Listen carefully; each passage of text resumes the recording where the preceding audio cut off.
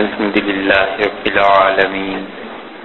صلاة والسلام على سيد الأنبياء والمرسلين وعلى آله وصحابه اجمعين اما بعد.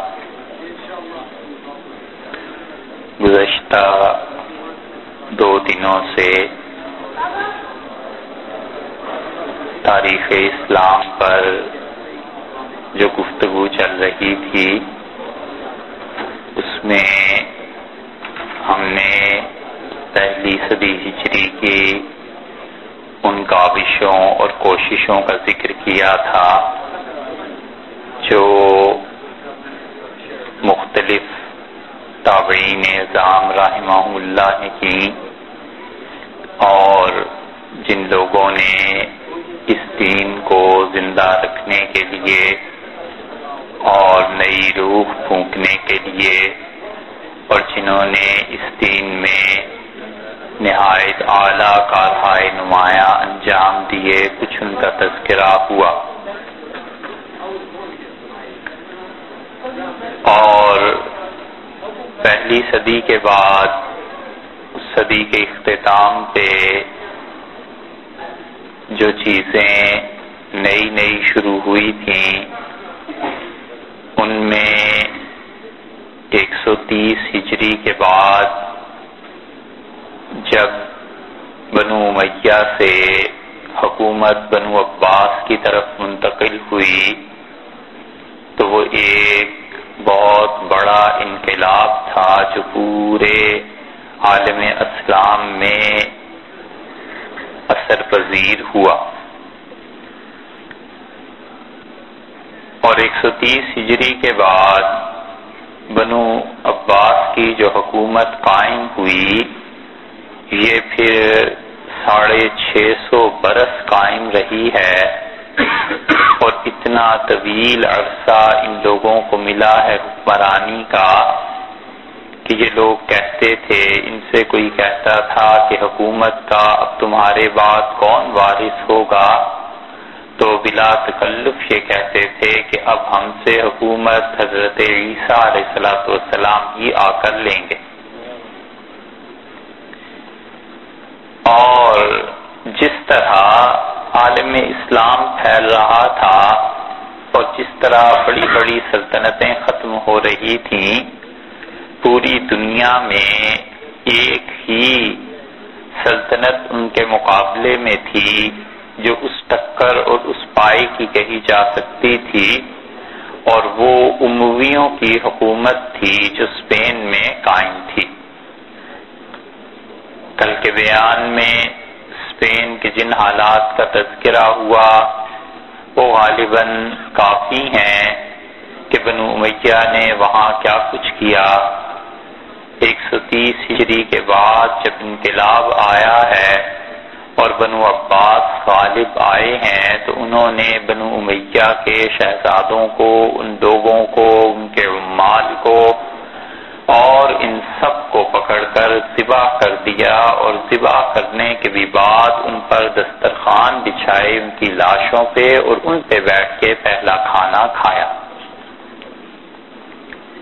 وہ یہ سمجھتے تھے کہ یزید نے جو کچھ کیا تھا اس کے بعد جتنے جو عموی حکمران آئے ہیں، سوائے اس چھوٹے سے وقفے کو چھوڑ کے جو عمر بن عبدالعزیز رحمت اللہ علیہ کی صورت میں تھا، باقی یہ سب ظالم تھے۔ اور بنو عباس نے اپنی حکومت کا آغاز جس ظلم سے کیا تھا، وہ بھی ایسا ہی تھا۔ اور منصور جو خلیفہ وقت تھا، اس نے بھی مظالم کیے، ظلم قوانین جاری کیے اور اس ظلم میں ایک مصیبت یہ بھی تھی کہ یہ لوگ مذہبی بھی تھے اور مذہب کے نام پر وہ وہ مظالم انہوں نے کیے، اسلام اور شریعت کے نام پر وہ وہ مظالم کیے۔ جس طرح آپ اگر دیکھنا چاہیں تو اس کی پوری ایک تصویر اور جھلک آپ کو ملے گی کہ جیسے کیتھولکس تھے، انہوں نے پروٹیسٹنٹس پہ کی۔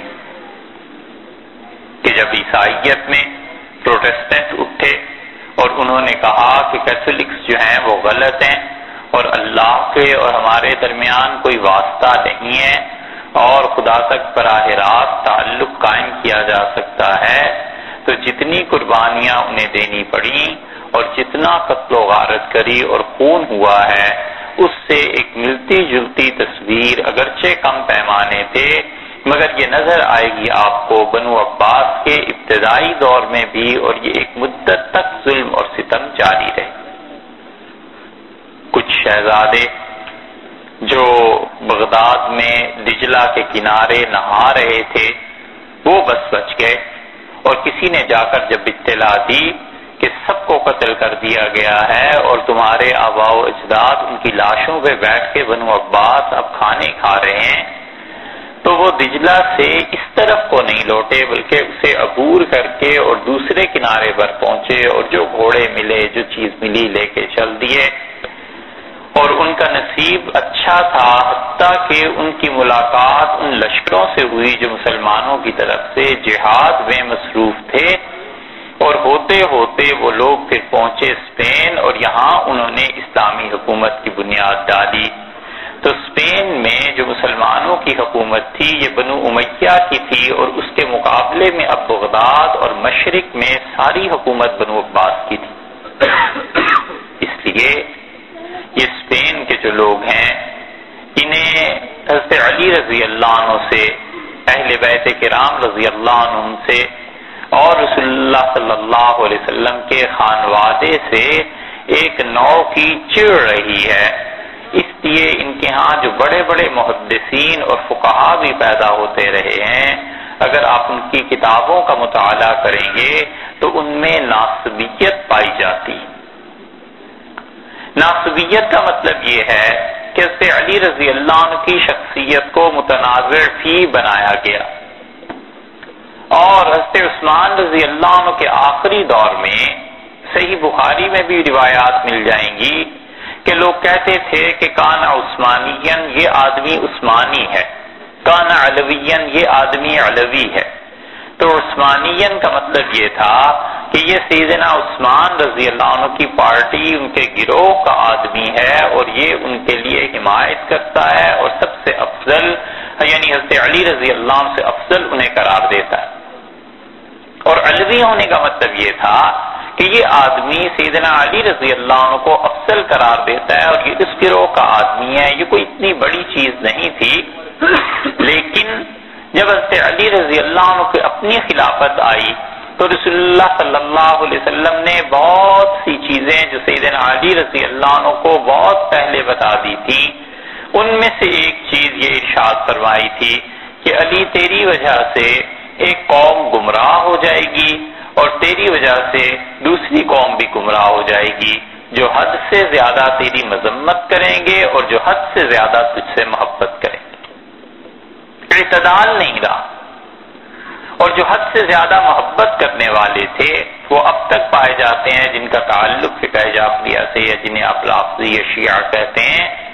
اور دوسرا گروہ بھی اب تک پایا جاتا ہے جو سیدنا علی رضی اللہ عنہ کو برا بھلا کہتے ہیں اور چونکہ بنو امیہ نے اس سے بنو عباس نے سلطنت لی تھی اور عباسی سارے سے علی رضی اللہ عنہ کے خانوادہ تعلقات ان کے تھے، اس لیے اسپین میں جو مسلمانوں کی حکومت قائم ہوئی ہے، یہاں بڑے سے بڑا آدمی بھی آپ کو مل جائے گا، لیکن ان کی کتابیں، ان کی تحریر، ان کی حدیث کی شرح، ان چیزوں میں کہیں نہ کہیں یہ بو آ جاتی ہے کیسے علی رضی اللہ عنہ زیادہ حق پہ نہیں تھے، فلاں بات ہو ہو گئی تھی فلاں بات ہو گئی۔ یہاں تک کہ ابن عربی کو اگر آپ پڑھیں تو یہ ابن عربی دو ہیں اور دونوں مالکی ہیں اور دونوں ہی چھٹی صدی کے ہیں اور دونوں ہی اسپین کے ہیں۔ تو ان کے ناموں میں گڑبڑ ہو جاتی ہے۔ ایک ابن عربی رحمت اللہ علیہ وہ ہیں جو صوفی ہیں، بہت بڑی شخصیت ہے۔ اور ان کے ساتھ ایک ابن ابن العربی وہ تھے جنہوں نے قرآن پاک کی شرح بھی لکھی ہے، تفسیر احکام القرآن کے نام سے وہ مل جاتی ہے۔ وہ مورخ تھے۔ انہوں نے ایک کتاب لکھی الواسم من القواسم، اور اس میں وہی ناصبیت ان میں بھی آئی ہے کہ علی رضی اللہ عنہ کے خاندان سے ایک طرح سے نفرت چڑ، ان سے جان چھڑانے کی بات اور لکھتے لکھتے وہ یہاں تک لکھ گئے کہ قتل الحسین و سیف ہی حسین رضی اللہ عنہ کے قتل میں کسی کا قصور نہیں، وہ تو اپنے نانا کے قانون کی وجہ سے خود ہی قتل ہوئے۔ کیونکہ رسول اللہ صلی اللہ علیہ وسلم نے باغیوں کے خلاف قتل کا حکم دیا ہے جہاد کا۔ تو حسین رضی اللہ عنہ جو شہید ہوئے ہیں، تو کوئی ایسی عزید کا قصور نہیں تھا، وہ تو قانون نافذ ہوا ان پہ۔ تو اس قسم کی چیزیں بہت مل جاتی ہیں ان کے ہاں۔ اور ادھر بنو عباس کی جو حکومت ایک سو تیس کے بعد قائم ہوئی ہے، اور جمی ہے جب اس کو جمنے میں وقت لگا ہے۔ اور جو ان کے مخالفین تھے، سب سے پہلے تو انہوں نے عالم اسلام میں ان کو چن چن کے ختم کیا۔ اور ان میں بہت بڑی شخصیت کل جیسے کہ عرض کیا تھا، امام ابو حنیفہ رحمۃ اللہ علیہ کی تھی اور امام ابو حنیفہ رحمۃ اللہ علیہ کو جیل میں انہوں نے زہر دے دیا، ختم کر دیا اور انہوں نے سوچا کہ وہ لوگ جو فتوے دیتے ہیں اور وہ لوگ جو ہماری حکومت کے خلاف جد و جہد میں مصروف ہیں، کسی طرح انہیں ختم کیا جائے۔ اور اسی سلسلے میں بہت سے اور لوگوں کو بھی ان مسائل کا سامنا کرنا پڑا۔ امام ابو یوسف رحمت اللہ علیہ جب قاضی بنے ہیں، تو اس وقت جا کر حالات کچھ قابو میں آئے ہیں۔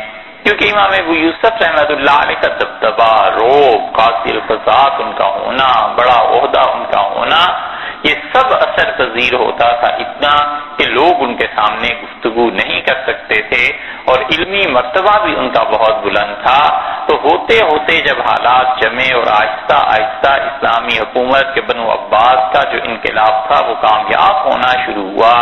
تو ان کی توجہ اس طرف لگ گئی کہ علم کو حاصل کرنا چاہیے اور تعلیم بہت بڑی چیز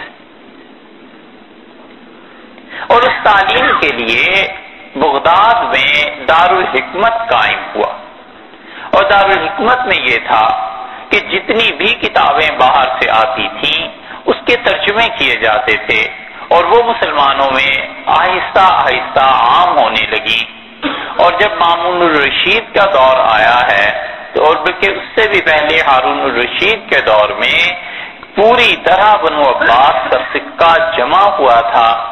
اور ہارون الرشید کا حال یہ تھا کہ وہ ایک مرتبہ گرمی کے موسم میں کھڑا تھا اور بادل کا ایک ٹکڑا اسے نظر آیا۔ تو اس نے کہا، اس بادل کے ٹکڑے سے مزاح میں یا ویسے ہی کہ تم برس جاؤ ہم پہ اور بہت شدید گرمی۔ ہوا کا چھونکا آیا اور بادل آگے چلا گیا۔ تو ہارون ہنسا اور اس نے کہا کہ فمتری ہے جہاں تمہارا جی چاہے جا کے برسو، بالآخر اس کا خراج، اس فصل کا حصہ، اس فصل پہ جو ٹیکس لگتا ہے وہ میری خزانے میں آئے۔ اتنی وسیع مملکت ہو گئی تھی۔ اور ہارون الرشید کھڑا تھا زبیدہ کے ساتھ رفتافہ اپنے محل میں۔ اور ایک دم سے شور اٹھا اور ہارون پریشان ہوا کہ یہ کیا ہو گیا ہے۔ تو اس نے اپنی بیگم سے پوچھا زبیدہ سے کہ کیا ہے؟ یہ سارا کچھ اس نے کہا، نیچے ذرا دیکھو۔ تو وہ دیکھا، جس شاہراہ تھی جو سڑکیں تھیں، بھری ہوئی تھیں لوگوں سے، اور لوگ آہستہ آہستہ چل رہے تھے۔ تو اس سے پوچھا کسی کو بلا کے کہ یہ کیا ہے؟ انہوں نے کہا، عبداللہ ابن مبارک رحمت اللہ علیہ آج بغداد آئے ہیں، حدیث سنا رہے تھے۔ تو یہ وہ جا رہے ہیں اور سارا شہر ان کے پیچھے چل رہا ہے۔ اس نے کہا یہ شور کیا ہوا؟ اس نے کہا، شور یہ ہوا کہ ان کی بیگم زبیدہ نے کہا کہ عبداللہ ابن مبارک رحمت اللہ علیہ کو چھینک آئی اور انہوں نے الحمد کہا ہے۔ تو یہ گرم اللہ جن لوگوں نے کہا، یہ ان کا شور تھا۔ یہ مقام تھا ان لوگوں کا تو جن جن لوگوں نے حکومت کے ساتھ ٹکر نہیں لی اور سیاسی نظام سے بالکل الگ رہے، یہ ایک مستقل گروہ تھا اور بہت بڑا کام ان لوگوں نے بھی کیا۔ یہ نہیں کہا جا سکتا کہ ان لوگوں کی قربانیاں اور محنتیں کچھ کم تھیں، کیونکہ اگر وہ حکومت کے معاملات میں الجھ جاتے اور سیاست میں آ جاتے، تو یہ دین کا بہت بڑا کام جو محدثین کے ذریعے انجام پایا، یہ نہ اس لیے اصول کی بات یہ ہے کہ آدمی کسی بھی فرد اور گروہ پر جب تنقید کرے تو یہ سوچ لے کہ یہ تو تنقید میں کر رہا ہوں، اللہ کے ہاں اس آدمی کا، اس جماعت کا کیا مقام ہے؟ ممکن ہے خدا انہیں قبول کر چکا ہو اور خام خواہ انہیں برا کہہ کے میں پھنس جاؤں۔ تو یہ ہوا کہ اس وقت افراد تیار تھے۔ اور عالم اسلام کے اکثر حصوں پہ، جیسے کہ کل عرض کیا تھا، حنفی فضوات کی حکومت تھی۔ اور ہارون الرشید نے اپنے بیٹے معمون اور امین کے لیے پوری یہ کوشش کی کہ بہتر سے بہتر ان کی تربیت ہو اور حدیث پڑھانے کے لیے اس نے اپنے بیٹوں کو مدینہ منورہ بھیجا۔ اور مامون الرشید جو تھا، اس نے حدیث امام مالک رحمت اللہ سے پڑھی اگر حدیث کے علم میں دیکھا جائے تو مامون الرشید خود حکمران وقت ہونے کے باوجود اتنا بڑا محدث تھا کہ اسے جب بغداد میں اطلاع ملتی تھی کہ کوئی حدیث کا عالم آیا ہے تو اسے بلاتا تھا، پوچھتا تھا، سوال کرتا تھا اور جرا اور بحث ہوتی تھی خلافت میں کہ یہ حدیث کہاں سے آئی اور کیا۔ مامون رشید نے دوسری طرف علم حاصل کیا امام محمد رحمت اللہ علیہ سے۔ اور فقہ اس نے امام محمد رحمت اللہ علیہ سے لی، اور حدیث امام مالک رحمت اللہ علیہ سے۔ اور بیٹا تو بادشاہوں کا تھا، اور نوجوانوں جیسی اجلت پسندی اور علم کا وفور، علم کی کثرت، اور تیسری چیز جو اس میں جمع ہو گئی تھی، وہ ضد تھی۔ اور بادشاہوں کی ضد جیسے سخت ہوا کرتی ہے کہ کسی چیز پہ اڑ جائیں۔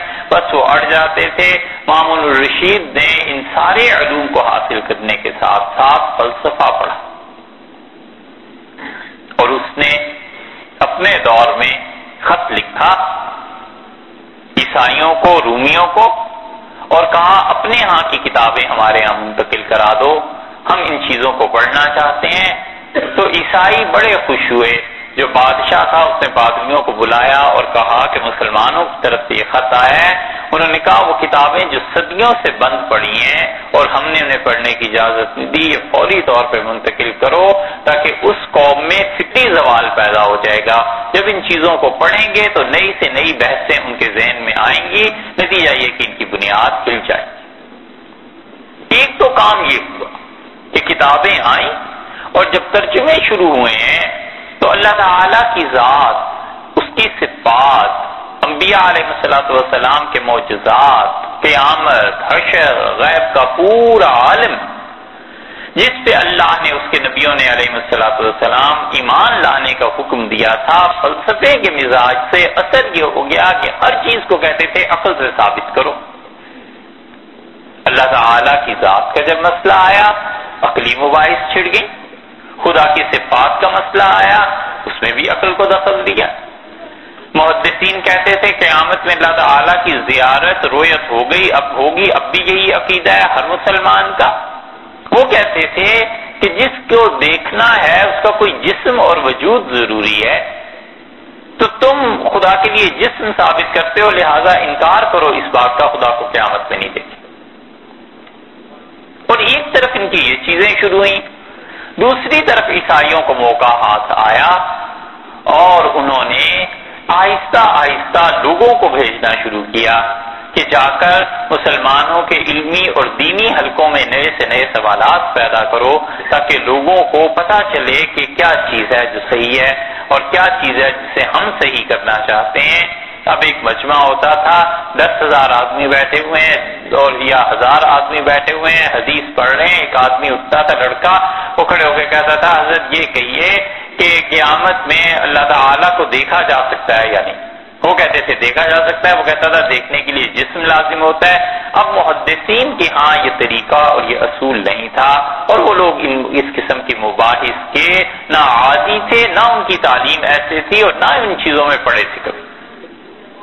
وہ کہتے تھے، سیدھا سادہ جو قرآن و حدیث میں آیا ہے، اس کو مانو، عملی زندگی اپنی بناؤ، جو عمل کی زندگی ہے، اس کی طرف توجہ دو، یہ فکر اور یہ بحث اور یہ فلسفے، ان سے کیا کر ایک نیا سوال اٹھا اور جب فلسفے کا اثر زیادہ ہوا مامون الرشید پہ، تو اس سے عمومی طور پر تعوین کے دور میں جو ایک ذہنیت پیدا ہوئی وہ یہ تھی کہ ہر چیز کو عقل کے حساب سے پرکھا جائے تو انہوں نے عذاب قبر کا انکار کیا اور انہوں نے کہا کہ قبر کا عذاب نہیں ہو سکتا، اس لیے قبر میں ہم دیکھتے ہیں کوئی چیز ایسی ہے نہیں جو عذاب دے، عقل میں ہی نہیں آتا۔ واصل ابن ادا ایک شخص تھا اور اس نے سب سے پہلے گروہ جتھا بنایا اور ان لوگوں نے کام کرنا شروع کیا۔ اور حسن بصری رحمت اللہ علیہ کا وہ شاگرد تھا۔ حسن رحمت اللہ علیہ کسی نے کہا کہ بغداد میں، یا مسجد میں بسرا میں آپ کے حلقے کے مقابلے میں ایک حلقہ قائم ہو گیا ہے اور واصل اس حلقے کو وہ وہ وہ اس کی تربیت کرتا ہے۔ تو آپ اس کے بارے میں کیا کہتے ہیں؟ ان کا آتزل عنا، یہ ہم سے جدا ہو گئے۔ اعتزال کا مطلب الگ ہو جانا۔ اور اس سے ان کا نام پڑا کہ یہ معتزلہ ہو گئے۔ مطلب یہ ہے کہ انہوں نے امت کی جو مین لائن تھی، اسے چھوڑ کر ایک طرف کو ہو گئے۔ ایک تو یہ ہوا اور اوپر سے جب انہوں نے فلسفہ پڑھا ان لوگوں نے، تو پھر رہی صحیح کسر بھی نکل گئی اور یہ گروہ اتنا بڑا ہے، اتنا بڑا ہے کہ اگلی تین چار صدیوں میں عالم اسلام کی چولہیں انہوں نے ہلا کر رکھ دی بڑے بڑے لوگ ان میں مارے گئے، بڑے بڑے لوگ ان کے دائی تھے اور ایسے لوگ تھے جو بدقسمتی سے دماغ بہت عمدہ تھے اور وہ معتزلہ میں چلے اکائیوں کو موقع ہاتھ آیا اور ایک سوال اٹھا۔ لوگ آ کے پوچھتے تھے، کسی بھی محدث سے کہ حضرت آپ کا اللہ تعالی کے بارے میں کیا عقیدہ ہے؟ میں مسلمان، نیا نیا ہوا ہوں، مجھے بتائیں؟ تو وہ کہتے تھے کہ اللہ کی ذات ہمیشہ سے ہے ہمیشہ رہے گی۔ وہ دوسرا سوال یہ کرتا تھا کہ یہ قرآن پاک کیا ہے؟ کیا یہ ہمیشہ سے ہے؟ ہمیشہ رہے گا؟ وہ کہتے تھے ہمیشہ رہے گا۔ تو کہتے تھے اس کا مطلب یہ ہے کہ اللہ کے علاوہ آپ کسی اور چیز کے بھی ایسے قائل ہیں کہ جو ہمیشہ سے ہے اور ہمیشہ رہے گی، تو یہ تو شرک ہو گیا۔ وہ حیران ہوتے تھے کہ کیا سوال ہے؟ اور وہ کہتے تھے، بھائی، یہ اللہ کا کلام ہے۔ بس ہمیں اتنا پتا ہے، وہ کہتا تھا، نہیں نہیں، قرآن نے فنا ہو جانا ہے اور قرآن پاک ہمیشہ رہنے والی چیز نہیں ہے۔ اگر آپ اس کو دائمی مانتے ہیں، ہمیشہ تو یہ تو شرک ہو جائے گا۔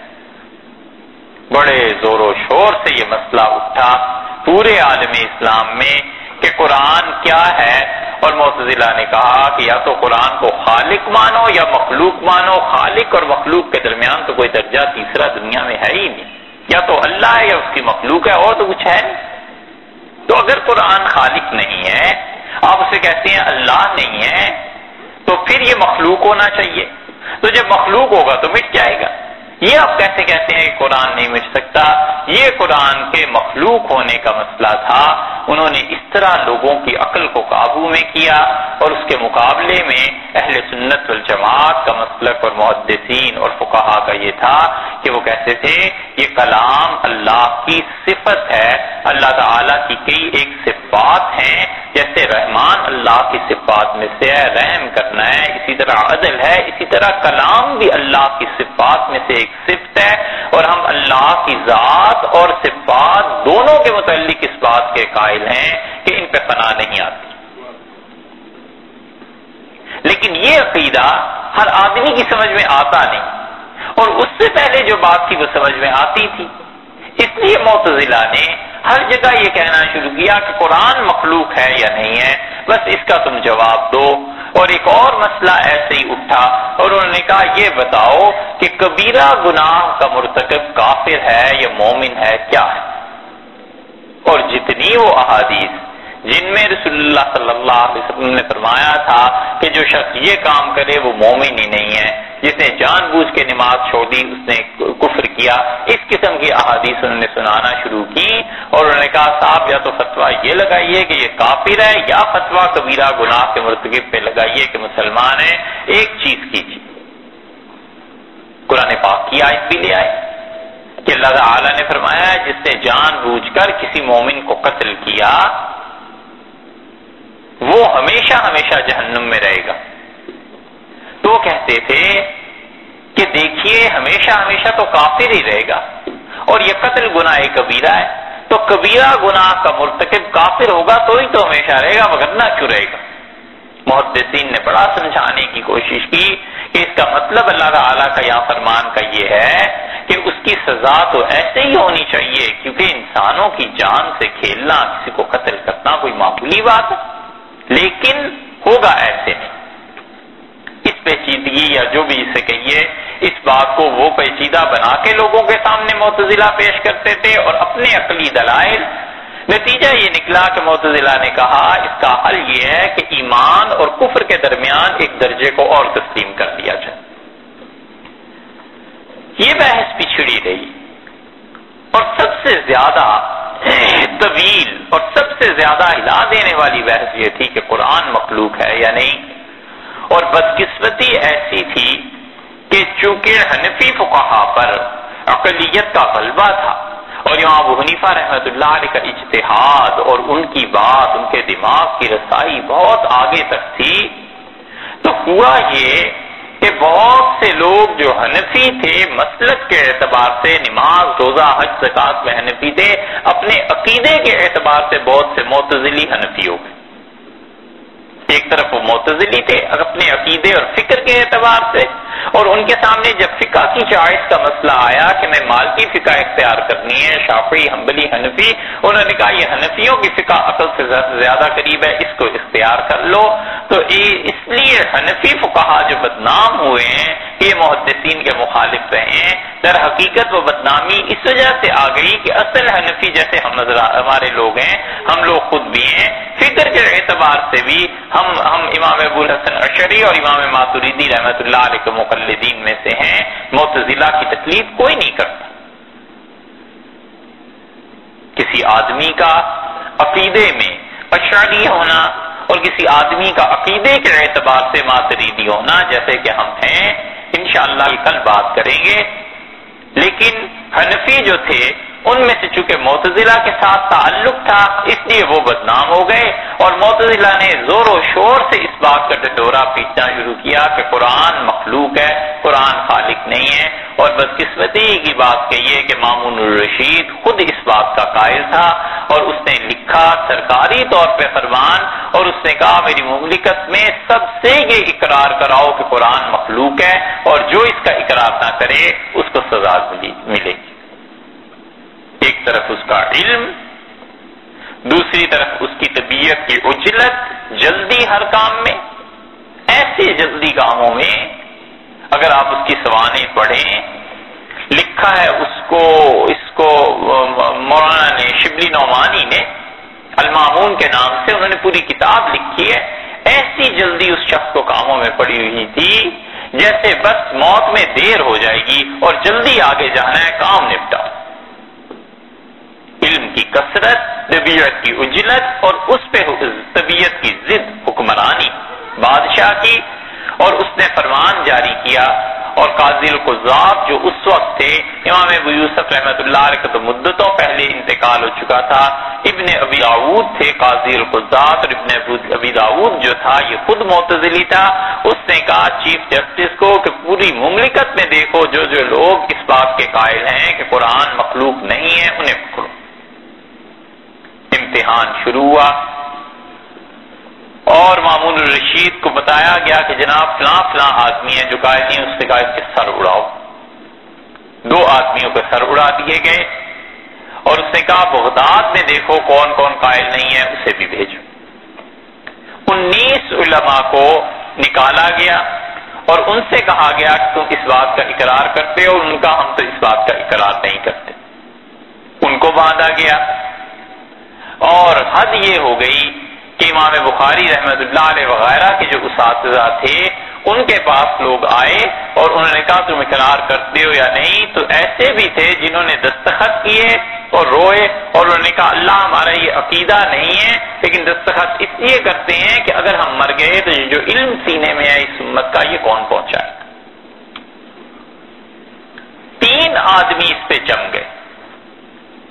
اور انہوں نے کہا، کچھ ہو جائے، ہم اس کا اقرار نہیں کرتے۔ ایک قواریدی تھے، ایک محمد ابن نور تھے، اور ایک امام احمد ابن حنبل رحمت اللہ علیہ تھے۔ ان تینوں نے کہا کہ مر جائیں گے، مگر اس کا اقرار نہیں کر سکتے کہ قرآن اللہ کی کتاب، اللہ کا کلام، یہ مخلوق ہے۔ ہم کہتے ہیں کہ اللہ کی صفات میں سے ایک صفت ہے، بس اس سے زیادہ ہم کچھ نہیں کہتے۔ معمول الرشید نے دوسرا حکم جاری کیا اسحاق بن ابراہیم جو اس وقت قاضی تھے بغداد کے، اس نے کہا، ان سب کو میرے پاس بھیج دو۔ اور امام احمد رحمت اللہ علیہ کہتے تھے، میں راستے میں دعا کرتا رہا کہ خدا بندہ یہ مامون امام محمد کا شاگرد ہے اور امام شافی رحمت اللہ علیہ سے اس نے پڑھا ہے۔ اللہ میرا اس کا سامنا نہ ہو، یہ اتنا علم والا ہے، لیکن اس کے باوجود گمراہی میں پڑ گیا ہے۔ میرا اس کا کسی طرح سامنا نہ ہو، ادب، حجاب، احترام جو ایک دوسرے کا تھا کہ یہ ختم نہ ہو جائے۔ اللہ کی شان ایسی ہوئی کہ امام احمد رحمت اللہ علیہ بغداد پہنچے اور پتا چلا کہ مامون کا چند دن پہلے انتقال ہو مامون نے جاتے ہوئے وسیعت کی اپنے بھائی موتسم باللہ کو، جو اس کے بعد اقتدار میں آیا ہے۔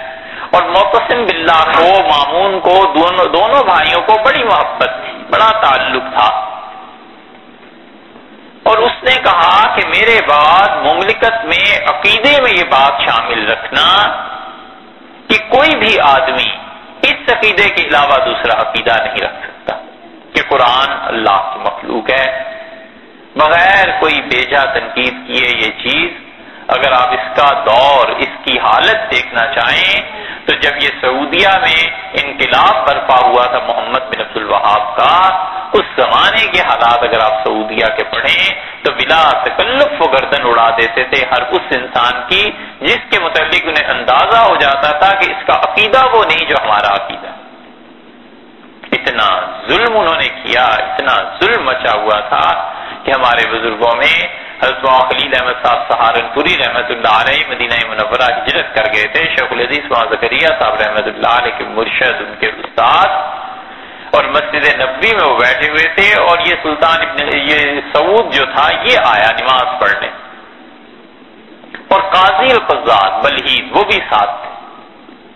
تو اس نے سنا تھا حضرت کے متعلق مسافہ کیا ملا اور حضرت رحمت اللہ علیہ کو اور قابل کی طرح اللہ نے یہ وصف دیا تھا صاف بات کرنے کا، کوئی ڈر، خوف کیا ہونا تھا۔ حضرت نے کہا کہ آپ کی مملکت میں نبی کریم صلی اللہ علیہ وسلم کے لیے سیدنا محمد کہنا منع ہو گیا ہے اور لوگ اس پہ جھگڑے کرتے ہیں۔ یہ کون سا دین ہے؟ قاضی بلحید نے کہا، رسول اللہ صلی اللہ علیہ وسلم فرمایا تھا، منع کیا تھا کہ مجھے سید آقا نہ کہا کرو۔ انہوں نے کہا، وہ تو اس لیے منع کیا تھا کہ کوئی بھی آدمی اپنے متعلق نہیں کہتا کہ مجھے اتنے بڑے القاب سے یاد کرو۔ وہ کثر نفسی تھی آجزی تھی۔ اور قرآن نے یاہیا علیہ السلام کے بدل لکھا ہے کہ سیدن یاہیا سردار تھا۔ تو رسول اللہ صلی اللہ علیہ وسلم کیوں سید نہیں تھے؟ وہ کیوں سردار نہیں تھے؟ اور حدیثیں جب سنائی تو شاہ سعود نے اس سے پوچھا کہ واقعی حدیث میں آیا اس نے کہا حدیثیں تو حضرت صحیح پڑھ رہے ہیں۔ چپ ہو گئے۔ اور اب جب گئے ہم مسجد نبی میں، حاضری کی توفیق ہوئی۔ وہاں جو شاپات نے گیٹ بنایا ہے، اس پہ لکھا ہے، سیدنا رسول اللہ صلی اللہ علیہ وسلم۔ ہم نے بہت سے دوستوں کو کہا کہ اس سیدنا کے لفظ پہ درے پڑھتے تھے۔ رسول اللہ صلی اللہ علیہ وسلم کو کوئی کہہ دے، اس کے والد کے زمانے میں۔ اور اب دیکھو کیا اس لیے کبھی بھی دین کے معاملے میں یہ نظریہ ہونا ہی نہیں چاہیے کہ ہمارا مخالف جو ہے وہ بالکل غلط ہے۔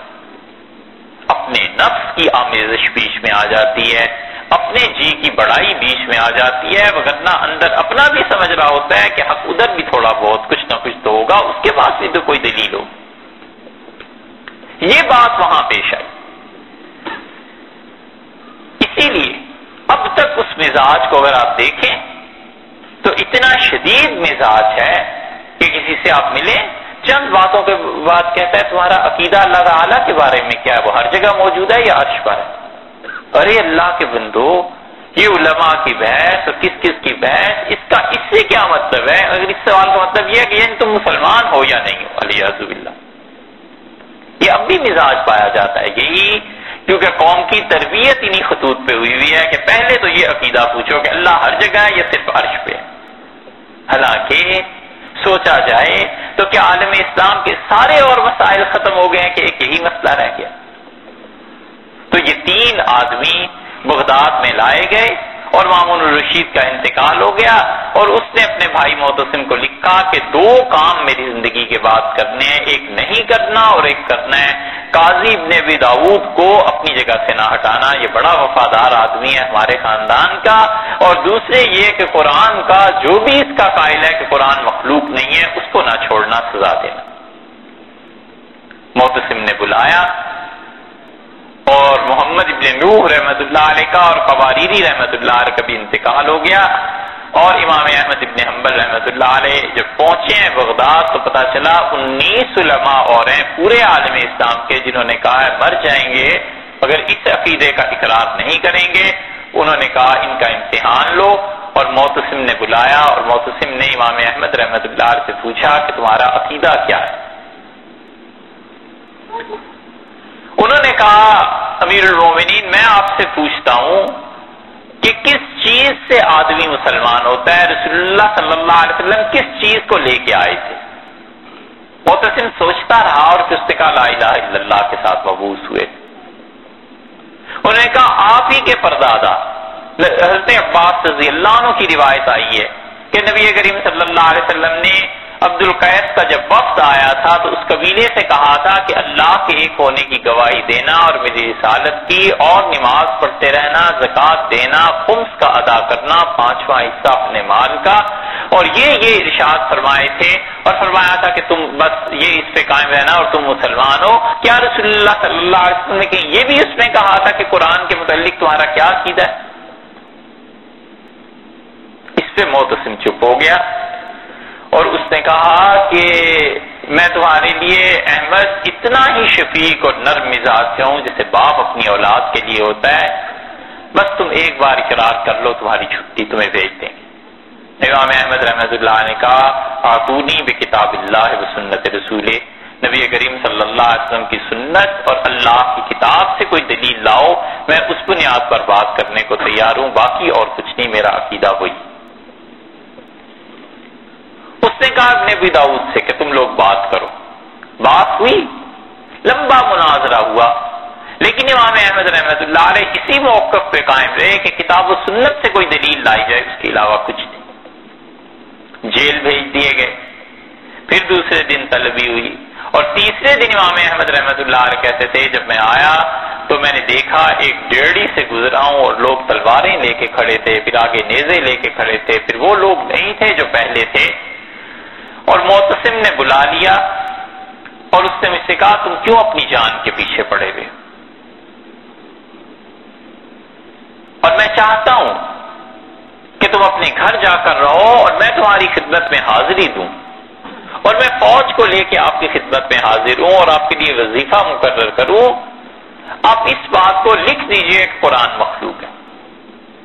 امام احمد رحمت اللہ نے کہا کہ قرآن کے مخلوق ہونے کی بات میں کبھی نہیں کہہ سکتا، بس اللہ کی کتاب، اس کے رسول صلی اللہ علیہ وسلم کی سنت، اس اس کا نکالو انہیں باہر۔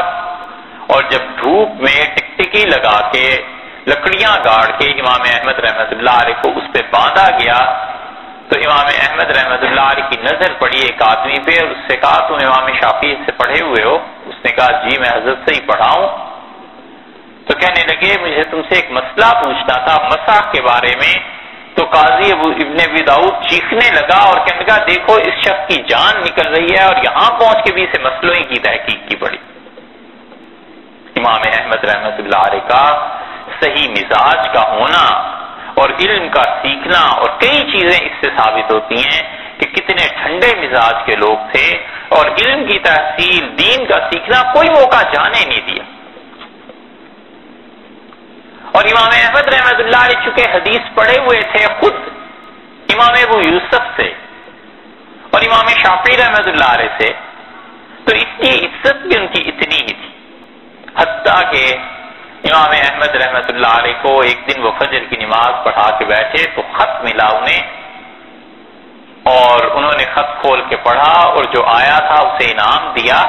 اور کہا کہ امام شافی رحمت اللہ علیہ کا یہ خط مجھے ان حضرت نے لکھا ہے اور بڑی مبارک چیز ہے کہ تم خط لے کے آئے ہو۔ پڑھا تو امام شافی رحمت اللہ علیہ نے لکھا تھا کہ میں نے رسول اللہ صلی اللہ علیہ وسلم کو آج خواب میں دیکھا اور مجھ سے ارشاد فرمایا ہے، نبی کریم صلی اللہ علیہ وسلم نے کہ احمد کو میرا پیغام دینا اور اسے کہنا کہ انتریب وہ آزمائش میں ڈالا جائے گا اور وہ ثابت قدم رہے اس سے میری ملاقات جنت میں ہو جائے گی۔ اور امام شافی رحمت اللہ نے لکھا کہ تم اگرچہ میرے شاگرد ہو، مگر اس بات کو اپنے پلے باندھو، تمہارے ساتھ کچھ نہ کچھ ہو کر رہے گا۔ اور جو بنیاد تم نے پہنی ہوئی ہے، تمہارے جسم کے ساتھ چپکی ہوئی ہے، میرے اس قاصد کو وہ بنیاد پانی میں ڈال کے نکال لینا اور وہ پانی بھیج دینا۔ میں سمجھتا ہوں وہ برکت کی چیز ہے میں سے پیوں گا۔ یہ امام شافی رحمت اللہ علیہ کا خط انہیں یاد تھا۔ نتیجہ یہ کہ محتسم نے آخری بار ان سے پوچھا کہ عقیدہ کیا ہے؟ انہوں نے صاف کہا کہ اللہ کی کتاب اور رسول اللہ صلی اللہ علیہ وسلم کی سنت، تو اس نے کہا لگاؤ اسے کوڑے۔ اور دو کوڑے انہیں لگائے، ایک جلاد نے اس نے کہا ہٹو اور دوسرے کو بھیجو۔ اور جب سولہ یا سترہ کوڑے لگے، اسی شدت سے تو قاضی نے کہا کہ احمد اللہ کا واسطہ ہے، کیوں اپنی جان کے پیچھے پڑے ہوئے ہو؟ اگر مرنا ہی ہے، کسی اور طرح مرو، جہاں مرو گے تو لوگ تمہاری لاش کو دیکھ کے تمہیں اپنا لیڈر سردار بنا لیں گے، نہ کرو۔ انہوں نے پھر وہی کہا کہ کتاب و سنت سے بات کرو۔ محتسم دھوپ میں کھڑا اور ایک آدمی آیا، اس سے کہا المومنین دھوپ ہے، چھوڑیے اس کو، یہ دیوانے ایسے ہی ہوتے ہیں۔ امام احمد رحمت اللہ کہتے تھے، میں سب سنتا رہا اور دیکھتا رہا کہ حکمرانوں کے خوشامدی کیسے ہوا کرتے. اور فرماتے تھے، مجھے سخت پیاس لگی اور انہوں نے پانی مانگا کہ پانی دو. تو پانی لایا گیا اور امام احمد رحمت اللہ علیہ روزے سے تھے، برف کا پانی تھا، دیکھتے رہے اور پھر پلٹا دیا اور نہیں پیا، شاید اس خیال سے کہ اگر موت ہی آنی ہے تو اللہ کی رات روزے میں آ جائے۔ چونتیس کوڑے لگائے گئے امام احمد رحمت اللہ علیہ کو، اور آخری کوڑا جب پڑا تو بے ہوش ہو گئے۔ انہوں نے اٹھا کر لکڑیوں سے نیچے پھینک دیا اور سب نے جی بھر کے اوپر ان کے روندا انہیں پاؤں مارے، ٹھنڈے مارے۔ اور امام احمد رحمت اللہ علیہ کو انہوں نے جیل بھیج دیا۔ اٹھائیس مہینے تک امام احمد رحمت اللہ علیہ جیل میں ہی رہے۔ اتنی طویل سزا تھی اس شخص کی جس نے صاف یہ کہا کہ میں حکمرانوں کی بات نہیں مان سکتا، یہ دین کوئی آسان پھولوں کی سیج اور کھیل نہیں ہے جو ہم تک پہنچا ہے۔ اس کے لیے لوگوں کا لوگوں کا خون بہ گیا، لوگوں کی عزتیں ختم ہو گئیں۔ اور امام احمد رحمت اللہ علیہ سے لوگ ملنے سے گھبراتے تھے کہ یہ آدمی حکومت کا معتوب ہے۔ اب بھی کسی آدمی کے متعلق پتہ چل جائے کہ حکمران اسے بری نظر سے دیکھتے ہیں، تو لوگ اس سے سلام نہیں کرتے کہ کہیں ایسے نہ ہمارا نام بھی اس کے متعلق آ جائے۔ اور امام احمد رحمت اللہ علیہ اسی عقیدے کے قائل رہے۔ اٹھائیس مہینے کے بعد موتسم کا دور جب بعد میں ہوا ختم، تو انہوں نے امام احمد رحمت اللہ علیہ کو گھر بھیج دیا۔ اور گھر بھیج کے جو ان کا گوشت امام احمد رحمت اللہ علیہ کا کوڑے لگنے کی وجہ سے ڈھلک گیا تھا۔ کھال پھٹ گئی اور گوشت ڈھلک گیا اور انہوں نے بلایا حجام کو اور کہا، یہ گوشت کاٹ دو. جب یہ نیچے کی طرف پلٹ پلٹتا ہے، نیچے کی طرف جھکتا ہے تو کھینچ لگتی ہے اس سے اور اس نے گوشت کاٹ موتسم کے بعد واسق کا دور آیا اور واسق کے بعد متوکل کا دور آیا۔ اور پھر خلافت میں اعلان کر دیا گیا کہ جو آدمی جو بھی عقیدہ رکھے، ہمیں اس سے کچھ بحث نہیں ہے۔ بس آئندہ عقیدے کی بحث نہیں کرنی، تب جا کر کہیں لوگوں کی جان اس عقیدے، اس مصیبت سے چھٹی ہے۔ حکمران وقت جب ظلم کرتے ہیں تو پھر ایسے ہی ہوتا۔ اسی لیے علی ابن مدینی رحمت اللہ علیہ کہتے تھے، نصر اللہ حاضر الامہ، اللہ نے اس امت کی بڑی مدد کی، یوم الردت من ابی بکر، حضرت ابو بکر رضی اللہ عنہ کے ذریعے جب ارتداد شروع ہوا۔ اور امام احمد رحمت اللہ علیہ کے ذریعے جب قرآن کو لوگوں نے مخلوق کہنا شروع کیا لئی صلاح خالص اور ان دونوں کا کوئی تیسرا اب تک پیدا نہیں۔ تو کہتے تھے اتنا اللہ نے اس امت پہ کرم کیا ہے، ان دو آدمیوں کے ذریعے امام احمد رحمت اللہ علیہ کی استقامت، ان کا ڈٹ جانا، جگہ جگہ چرچا پھیلا کوچے کوچے میں ہر جگہ تشہیر ہوئی کہ یہ آدمی ہیں جس نے استقامت کے ساتھ ڈٹ کیا ہے اس نے قربانی دی ہے، یہ آدمی ٹھہر گیا ہے اور صحیح اہل سنت کا مسئلہ کیا ہے۔ یہاں تک کہ محدثین نے لکھا، انہوں نے کہا، جب تم کسی آدمی کو دیکھو، امام احمد رحمت اللہ علیہ کا تذکرہ برائی سے کرتا ہے، تو جان جاؤ کہ یہ آدمی ضرور بدتی ہے، اس میں گڑبڑ ہے، اس کا دین ٹھیک نہیں۔ اور امام احمد رحمت اللہ علیہ گھر لائے گئے اور سب سے زیادہ جس شخص کے لیے دعا کرتے تھے، امام ابو حنیفہ رحمۃ اللہ علیہ کے لیے۔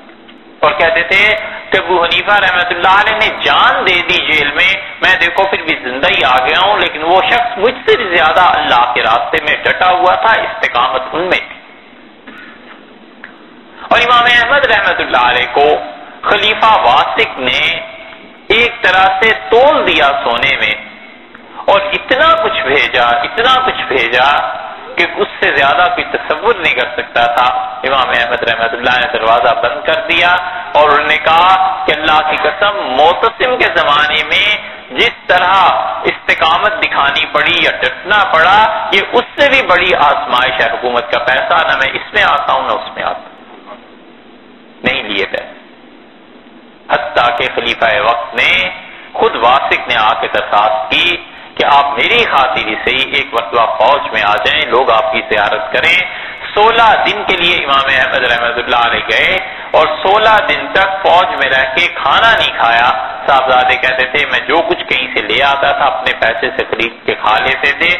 اور سولہ دن میں جب صحت گرنا شروع ہوئی، تو خلیفہ وقت کو اطلاع دی گئی کہ وہ کہتے ہیں، فوج کا کھانا میرے لیے جائز نہیں ہے، وہ کھا نہیں رہے، بیٹا کچھ لے آتا ہے تو کھا لیتے ہیں، آپ انہیں اجازت دیں یہ چلے جائیں۔ اور امام احمد رحمت اللہ علیہ گھر لوٹے۔ اسی لیے یہ تاریخ تھی امت کی امام احمد رحمت اللہ علیہ نے بند باندھ دیا۔ اور لکھنے والوں نے کچھ غلط نہیں لکھا کہ حقیقت میں دوسری صدی کی جو تجدید تھی اور مجدد تھے وہ امام احمد رحمت اللہ علیہ تھے۔ اور انہوں نے محدثین کا سر فخر سے بلند کر دیا اور معتزلہ کو ایسی کاری ضرب لگائی کہ اس کے بعد آہستہ آہستہ یہ شہر ٹوٹنے لگا۔ مسئلہ یہ اٹھا کہ صحیح عقیدہ پھر کیا ہے؟ اللہ تعالی کی ذات کے بارے میں، اس کی صفات کے بارے میں معتزلہ اگر گمراہ ہیں تو ہدایت کہاں ہے؟ اور یہ مسئلہ جب اٹھا ہے تو محدثین پورے عالم اسلام کے ان کی نگاہ پڑی کہ عقیدے مرتب کیے جائیں۔ تین آدمی اس دور میں ایسے پیدا ہوئے ہیں کہ اب تک اللہ نے ان کا اثر رکھا ہے۔ ایک آدمی تو ایسے تھے اب تک ان کے عقیدے کی کتاب باقاعدہ پڑھائی جاتی ہے۔ مدارس میں بھی، ہر جگہ پہ بھی، حتیٰ کہ سعودیہ والوں نے بھی اپنے نصاب میں مرتب کر رکھی ہے، نافذ کر رکھی ہے اپنی مملکت۔ ان میں ایک شخصیت امام صحابی رحمت اللہ علیہ کی تھی۔ انہوں نے عقیدے کو لکھا اور اللہ نے بڑی برکت دی ان کی کتاب کو۔ ایسی برکت دی ہے کہ اب بظاہر بارہ سو برس ہو گئے ہیں، لیکن اب بھی عقیدہ وہی ہے جو امام تحابی رحمت اللہ علیہ لکھ گئے اور دوسری بڑی شخصیت امام ابو الحسن اشدی رحمت اللہ علیہ کی تھی، اور ابو الحسن اشدی رحمت اللہ علیہ متضلہ کے چوٹی کے سردار تھے، اور لوگ کہتے تھے کہ جب تک ابو الحسن زندہ ہے متضلہ پہ زوال نہیں آ سکتا، اور اللہ نے ان کی کایا پلٹی۔ اور تیسری شخصیت امام ابو منصور ماتریدی رحمت اللہ علیہ کی تھی، ان تین حضرات نے پھر عقیدے کو ترتیب دیا اور بتایا کہ کتاب و سنت کی روشنی میں عقیدہ کیا ہونا چاہیے۔ انشاءاللہ کل کی نشست میں ان تین سے بات شروع کریں۔ گے